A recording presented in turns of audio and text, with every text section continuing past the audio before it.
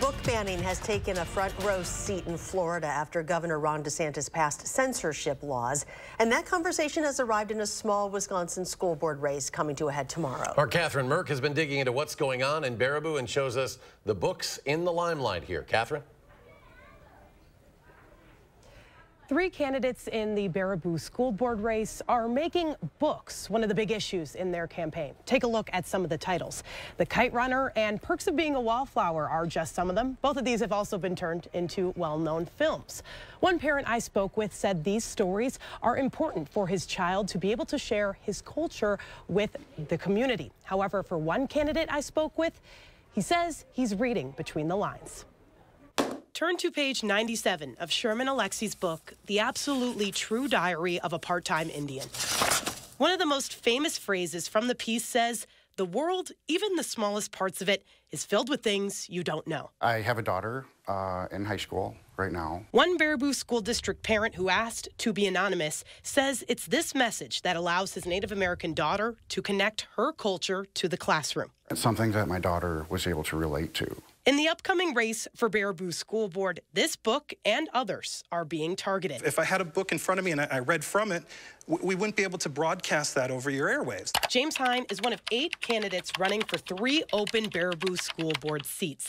On his campaign website that he shares with two other candidates, it states books like Sherman Alexie's have concerning adult content for the classroom. We have a problem in the Baraboo schools, like I think uh, many other schools are having, with children who uh, are not behaving in a particularly uh, civilized or dignified way. And that's at least partially explained by the uh, materials to which they're exposed and, and, and, they're consuming as part of the curriculum. Other candidates have commented on Hine's online post. In a statement to News 3 Now, Angela Hanley called it, quote, a sign of authoritarian tendencies. The candidates' push to remove these books mirrors the right wing push in Florida to ban hundreds of books from classrooms. Floridians want our school system to be about educating kids, not indoctrinating kids. I asked Hine if he wants to ban these books.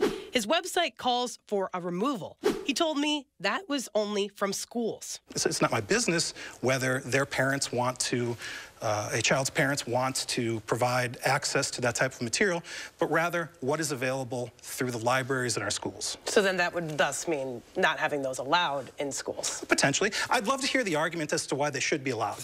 What's left for Baraboo voters is the argument this parent poses straight from the page.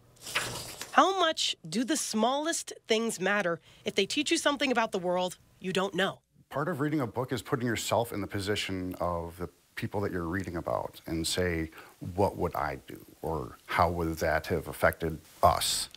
And to not be able to read about those, there's no reason for it.